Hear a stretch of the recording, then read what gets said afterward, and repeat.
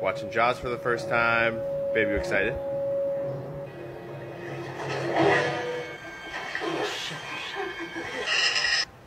Y'all know me.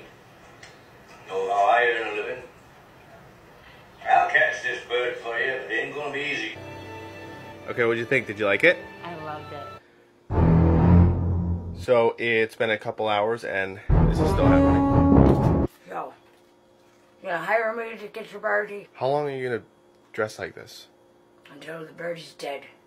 They're fast ones, they're slow ones, they're medium, medium length. Stop. You're scratching all the things in our apartment. Stop. It's better than getting bit by a birdie.